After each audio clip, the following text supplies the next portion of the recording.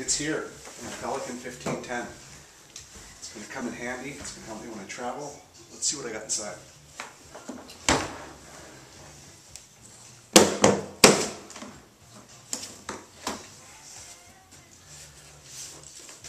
One Canon 5D with a buck battery grip. A backup Canon 30D with a battery grip.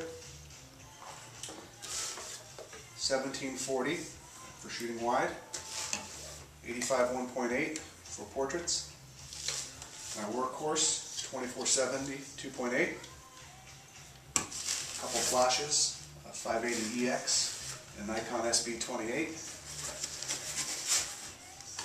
Uh, Got a lens hood for the 1740, uh, Justin clamp, which comes in handy uh, to clamp flashes anywhere.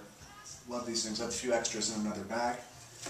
Let's see what else we have here. Elinchrom Skyports. Uh, I got the trigger that goes on top of uh, the body and a couple receivers that would attach to uh, each flash.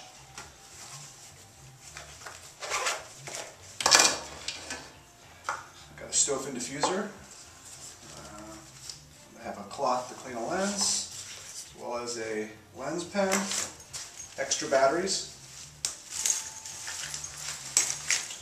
Got extra camera batteries as well as extra batteries for the flash. They go on this side and when I'm done with them I put them on this side and this side is for recharging.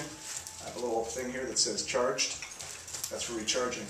In the center of this pouch I keep extra memory cards and then when I'm finished using a memory card I put the uh, ones that are filled in this little case to protect it.